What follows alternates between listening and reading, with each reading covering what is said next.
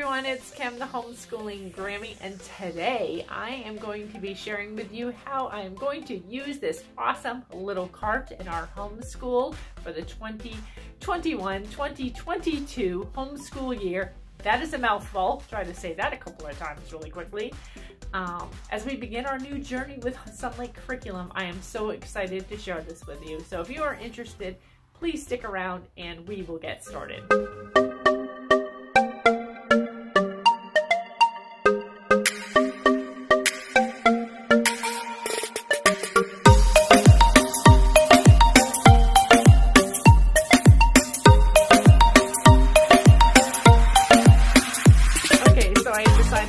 Using my big tripod probably wasn't going to be the easiest way to do this. And I was looking at my intro. You guys need to excuse how I look lately.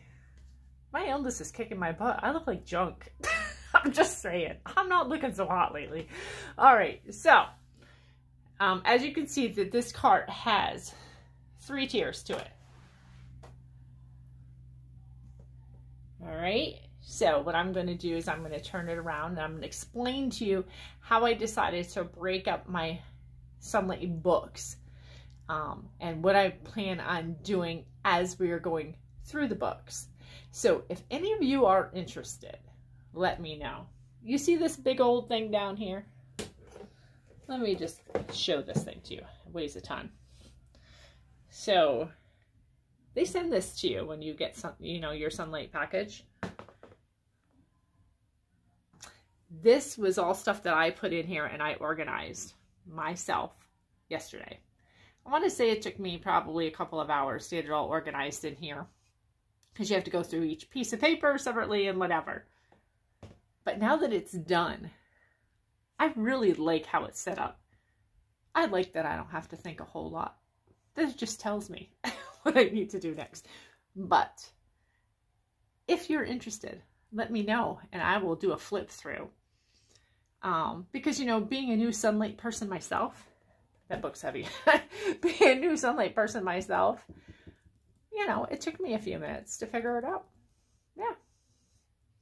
Once I got rolling, it was cool. But yeah, all right. So let me turn this around and I'm going to share with you how we are going to use these lovelies. I'm so excited. Look at all this literature. If you're a book lover, oh my goodness, like seriously, if you're a book lover. So since I just got done showing you this big old binder, I may as well start there. So in the bottom shelf, I am putting our binder. And then also what I have set in here is the um, World Mar Markable map. And this is a great big map. It's huge like wall size. There's the world map and there's the United States map in here. And it's really, really awesome.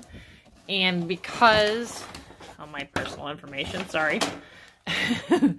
um, and because we don't have a homeschool room per se anymore, um, and I will link, if I think of it, I will link in the iCards um, how our homeschool room is. I put that loosely. and you can take a look at what we do. So let me move up to tier number two since it's the closest to me. And so what I have done is everything from here back is all science related. So these are all of the books that we're going to be using for science. These are the supplies for the science experiments, the Inquisikids, Discover and Do Level 1, plus all the books that are going to be used in the science portion. And then on this side are all of the readers. These are all the books that Hope is going to be reading. Um, some of them on her own. Some of them I may have her read aloud to us. I haven't really decided yet. Um, you know, I'm a fly by the seat of my pants type girl, even though, you know, the curriculum may say or suggest to do something one way or another. I'm going to do it the way it works for us. And that includes how I put together um, the binder. Um, I put it together to work for us. And I really suggest that, you know, as homeschooling moms or dads, families, that that's what you do. You make the curriculum work for you. You don't work for the curriculum. That's very important. And so on this top shelf right here is everything to do with history and Bible. So there's all kinds of books up here, as you see. Tons and tons of books. The Timeline, the Usborne Book of the World, Time Traveler, da da da da da. And I actually plan on, I'm doing a collaboration and I'm going to be going through each subject that I'm going that we're going to be doing in our homeschool and I'm going to show you exactly what we're going to be using, exactly what we are going to be doing. So please make sure that you stay tuned to my channel so that you will know exactly what we have coming up in the near future. But look at how amazing these books are. Just wonderful, wonderful books. Read alouds. These are all read alouds on this end. These are Bible and history on this end. Um, we are so, so excited. So I know you're thinking, okay, not a big deal. Lots of people have carts. You're right about that. Let me turn this around again. Okay, so let's chit chat. Let's have a little chit chat about why I'm so excited about a little white cart with some wheels on it, one that I can move from one room to the next, because most likely I'm going to leave this in my living room. Yeah, that's probably where it's going to stay. Found a nice little nookie corner or place in my living room, and that's where this cart is going to stay. And here's the deal. Here's why I was excited about the cart. Because I thought about, you know, I could have just gone and I could have bought another bookcase. I could have done any number of things. Um, but I did want to make it easier as far as access goes. I didn't want to have to go digging in my bookcase every single time we were, you know, changing books, reading something new. But also, this lady that was in a Sonlight group had an awesome idea. I know for myself, I really love to kind of like check things off. I'm like one of those people, like as I get something done, there's something to be said about being finished with something um, that gives you this sense of accomplishment. And I think it gives lots of children also that sense of accomplishment, like, oh my goodness, I finished, I did this. So here's my plan. I know that a lot of Sonlighters also have like labels or whatever that they put on their books. I decided I'm not doing that either. That's too much like work for me. Um, so, but I did go and put the books in some kind of semblance of order as they appeared in, um, you know, in the schedule of things. Um, but what I'm going to do, the most exciting part of this, is every single time that my granddaughter finishes a book, whether it's a read aloud, or it has to do with Bible or history, or it has to do with um, just readers that she's doing, science, any book, we're going to remove it from the cart and it's going to get put away. Haven't decided where yet probably in the bookshelf that I need to reorganize. Should I share with you as I reorganize that mess that is my homeschool closet? I probably should because since I showed it to you before, it's gotten a little out of hand in there.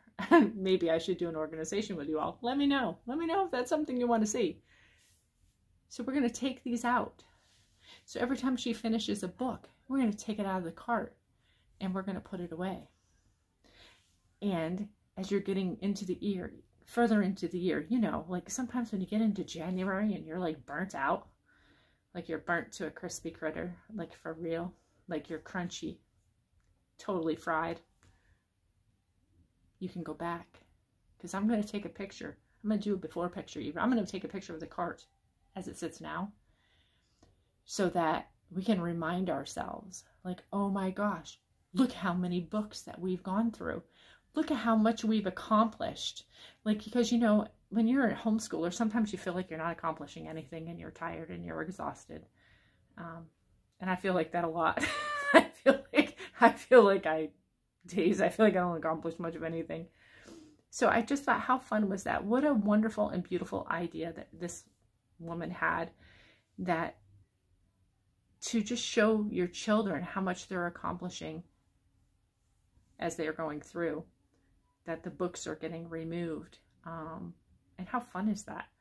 So when you get towards the end of the year, like this cart's going to be empty and emptier and emptier until there's like nothing left on the cart. And that's super fun. And yeah, so that's what I'm going to do. simple and fun and motivating. Motivating not only for my granddaughter, but motivating for me on the days that I'm having a hard day, like all of us homeschooling parents have. We all have hard days, we all have rough days. Um, lots of prayers to get through those rough days, but also just a little bit of something, something, something to say, look at what we've accomplished. Look how far we've come. Not instead of looking at this big stack of books and have them have them looming over you all school year with a cart still being full feeling like you haven't accomplished anything so i hope that this is a blessing to you um, let me know if you decide to do something like this i just thought this was so fun so different haven't done anything this way before just a different perspective you know instead of the glass half full. The glass in this case can be half empty, and that'll be awesome. so God bless, and I will talk to you again soon.